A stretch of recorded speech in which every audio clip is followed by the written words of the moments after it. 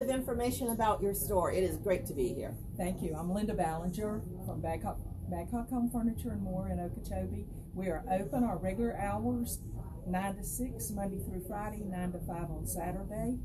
We're following all the CDC rules and regulations. We do wipe everything down. Our uh, salespeople have their mask on. We have the shields. We welcome all of you to come in and see us. We're going to be open Memorial Day, 10 to 2. Our showroom will be open, and so will our clearance section. Right. So we invite everyone to come in and see us, and please, everybody, stay safe. We love you all. Thank you. Thanks, Linda.